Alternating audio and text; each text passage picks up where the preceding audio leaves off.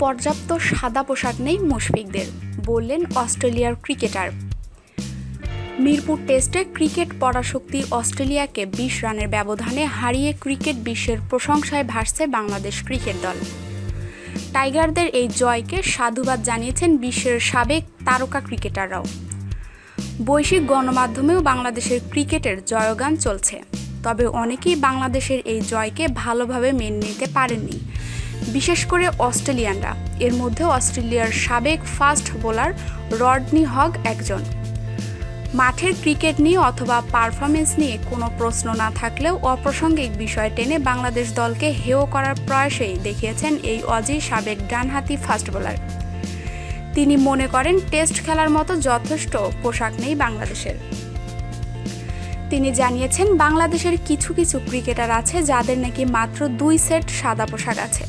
তবে বাংলাদেশ ক্রিকেটারদের ওয়ার্ড্রোবের খবরটা ঠিক কোথা থেকে পেয়েছেন তিনি তা নিশ্চিত করেনি অস্ট্রেলিয়ার এই সাবেক ক্রিকেটার। মূলত অস্ট্রেলিয়া দলের সঙ্গে টাইগারদের পার্থক্যটা বোঝানোর জন্যই এমন টুইট করেছেন রডনি হগ। তিনি লিখেছেন, বিশ্ব ক্রিকেটে বড়ই বৈষম্য। আমাদেরকে গতকাল হারানো বাংলাদেশের এমনও ক্রিকেটার আছে যাদের হয়তো দুটির বেশি সাদা পোশাক নেই।